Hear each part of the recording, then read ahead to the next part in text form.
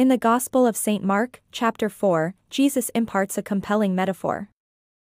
He speaks of a lamp, brought into a room, not meant to be hidden under a basket. The lamp's purpose is to provide light, to illuminate the space and chase away darkness.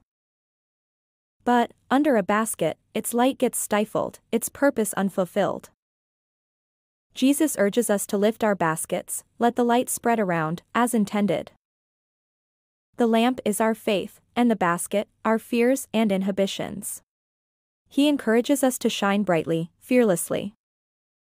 His words inspire us to light our world with love and faith, just as the lamp lights the room.